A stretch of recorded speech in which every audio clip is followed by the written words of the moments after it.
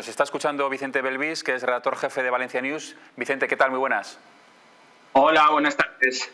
Eh, digo que ha sido un jarro de agua fría para la madre de Marta Calvo, que ella esperaba y estaba luchando por, esa, por conseguir la prisión permanente revisable para el asesino de su hija y finalmente no va a poder, así, no va a poder ser así porque eh, se ha denegado el recurso ¿no? que presentó. Claro, vamos a ver. Finalmente, lo que dice literalmente el Tribunal Superior de Justicia de la Comunidad Valenciana es que aplicando literal la literalidad de la ley eh, no cabe esta prisión eh, permanente revisable.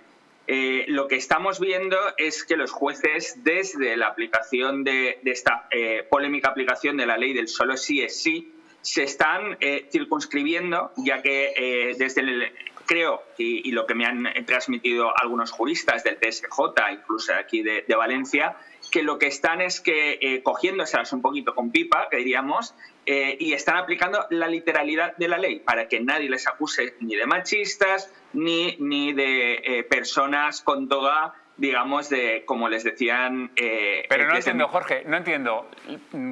O sea, ¿no se le aplica la prisión permanente revisable, no se le condena la prisión permanente revisable por la ley del solo sí es sí? No, vamos a ver, eh, te, he hecho una, no sé si me escuchas bien y tal, porque eh, aquí en Valencia en marzo es un poco complicado hacer estas conexiones. No, no, te, escucho perfectamente, que, a lo mejor no lo he entendido bien.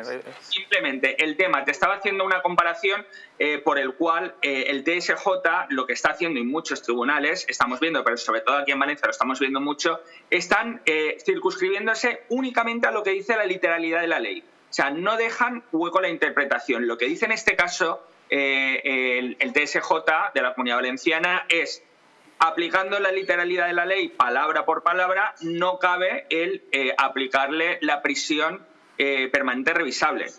Entienden que es necesario una serie de, requisitos que no se cumplen, no llegan a, explicar el porqué, los fundamentos jurídicos. Esperamos ahora que se publique el fallo para poder estudiarlo más, pero lo que en sí te dicen por detrás es, mira, ya es suficiente con los 150 años que se ha condenado este señor. El problema de los padres, pues eh, no querría estar yo eh, en la piel de los padres. Primero, porque el cuerpo de su hija no ha sido encontrado. Parece que sigue en el vertedero. Este señor no ha, no ha explicado exactamente lo que hizo con el cuerpo y no se ha encontrado. Recordemos el caso Marta del Castillo también, algo parecido. Eh, y eh, el gran problema es que estamos viendo como las leyes hoy en día estamos penando a 150 años, pero luego por otra parte el gran problema es que la legislación española, como bien comentaba un compañero en plató, eh, el compañero policía, si no me equivoco, estamos hablando de legislaciones de hace 20, 30 años. Y ojo, si no me equivoco, creo que lo máximo que puede estar una persona si no tiene la prisión permanente revisable son 20 años lo, que puede estar eh, entre rejas. Con lo cual me da igual que la condena sean de 150 años que sean de 1000, porque al final, eh, si además luego le aplicamos los beneficios penitenciarios de, bueno, a las tres cuartas partes de la condena podemos pedir el tercer grado, mira, vamos a pedir revisiones. Eh, lo que decían los padres de, de esta víctima y estos padres destrozados valencianos era, bueno, ahora está 150 años, de aquí 10 años igual directamente está en la calle, como estamos viendo con violadores o estamos viendo con personas condenadas. No Cuando además en este caso la prisión permanente revisable, uno de los supuestos era el cometer más de dos asesinatos y que además uno de los asesinatos mm, se precediera con una violación una agresión sexual y en este caso prácticamente estaba demostrado. Primero estamos hablando de tres asesinatos y, las agresiones sexuales eran casi evidentes porque él lo que hacía era drogarlas precisamente para poder mantener relaciones sexuales y luego acabar con ellas. Entonces, serán dos supuestos de la, la prisión permanente revisable en este caso, ¿no? Recordemos que aplicaba cocaína a los órganos genitales de las mujeres ¿vale? Para drogarlas de alguna manera y que así eh, accedieran a sus pretensiones sexuales. Y recordemos que además eh, hubo tentativas de, otros más, con lo cual en teoría cumplía todos los casos. Ahora habrá que esperar el fallo total eh, que se publique para poder saber qué narices ha sucedido. ¿Y habrá recurso, me imagino?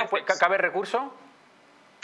Eh, se supone que sí, se supone que sí. Los padres, desde luego, están absolutamente convencidos de que van a acudir eh, a donde haga falta porque no lo entienden. Y su, Al final, eh, su miedo es este, que de aquí 10 años este señor esté en la calle, o de aquí 10 o de aquí 15. Lo que quieren es que directamente lo que diríamos todos que está mal dicho, por, por, porque al final fastidiamos a la persona, pero lo que quieren es que se pudra en prisión eh, por los delitos que ha cometido. Y sobre todo entendamos estas familias, esta familia que no ha podido hacer ese, ese dolor, porque no han encontrado el cuerpo de, su hija. Porque este él ha mentido en más de una ocasión. Dices tú que está mal dicho, eh, Vicente, pero es absolutamente comprensible.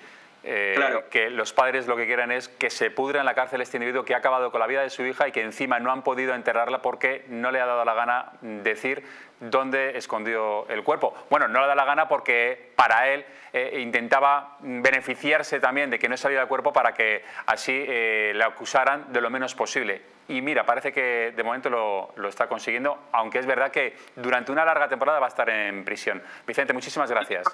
Déjame decirte, la semana pasada estábamos en un caso, en este caso, del, homicidio que había efectuado a un niño pequeño en su propia madre. Hablábamos de educación, de qué estaba fallando. Pues como bien ha dicho el compañero, también habrá que empezar a recriminarle eh, a los políticos qué están haciendo, porque al final los jueces aplican aquello que se legisla. Y los legisladores o están dejando mucho que desear en las leyes o directamente nos estamos preocupando eh, de muchas leyes muy accesorias que podrían esperar, incluso polémicas, pero eh, lo fundamental en el derecho, recordemos, el derecho civil lo tenemos de hace ciento y pico años. Eh, hay muchos articulados que son de hace más de 20 años que no responden a la realidad del calle. Lo estabais hablando con los menores. Entonces, lo que tenemos que empezar a pedir a nuestros políticos es que se dejen de legislar de cosas accesorias y que empiecen a hacer lo que es necesario porque luego vemos que... Pero mira, que, mira con lo de la ley del solo sí es sí, que están saliendo los violadores a la calle y se le está recriminando a quien ha sido el artífice de, esa, de esa maravillosa ley, que es Irene Montero, y lo que dice es que, es que los jueces son machistas. Es que aquí nadie asume responsabilidades en este país, desgraciadamente. Que eran fascistas con toga. Por eso, de esos, de, de, esos vientos, estas tempestades, ¿vale? Y por eso hoy en día los jueces dicen, pues aplico la literalidad de la ley, que es lo que nos están diciendo la literalidad coma por coma pone esto, yo lo aplico. No es posible. Esto es un problema que tendremos que ver y que tendrá que dirimir el Consejo General del Poder Judicial porque a partir de ahora creo que van a haber muchos fallos judiciales muy polémicos por esa literalidad total. Vicente, muchísimas gracias. Pues nada, espero haber arrojado un poquito de luz. Seguro, lo has hecho. Gracias, un saludo. Hasta luego. Hasta luego.